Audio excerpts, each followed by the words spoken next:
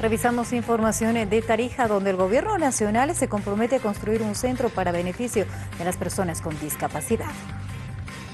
Lo que yo sentí era que eh, a través de, la, de los padres de familia sentí que necesitaban infraestructura, una infraestructura cómoda, una infraestructura amplia, una infraestructura que se corresponda con las necesidades de los cuatro centros. Y entonces yo le, le, pasé el dato al presidente Evo y el presidente Evo me dijo, diles a los padres de familia, a los directores de esos centros, que encuentren un lugar, que encuentren un espacio, un terreno.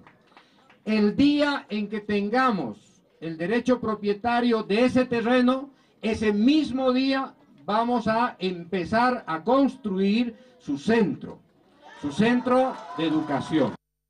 Es así que el gobierno nacional anunció su compromiso para la construcción de un nuevo centro que vendrá a beneficiar a las personas con discapacidad de la ciudad de Tarija. El anuncio fue realizado por el ministro de la Presidencia, Juan Ramón Quintana, quien participó en el aniversario de la Escuela para Personas Ciegas y con Baja Visión, a quienes se entregó víveres, además de ropa. También la autoridad nacional realizó la entrega de sillas de ruedas y vehículos para colaborar a los centros que atienden a este sector. Estamos entregando vehículos eh, cuatro vehículos para los cuatro centros de educación para personas con discapacidad. Estamos entregando ayudas técnicas, sillas de ruedas, bastones, burritos.